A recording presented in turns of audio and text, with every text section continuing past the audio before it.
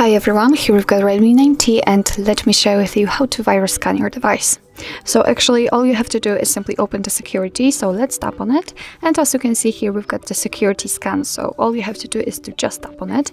Here we've got the privacy policy, so uh, you have to grant uh, the permission, so just tap on agree. And right now your device is scanning itself in order to find any viruses and malware.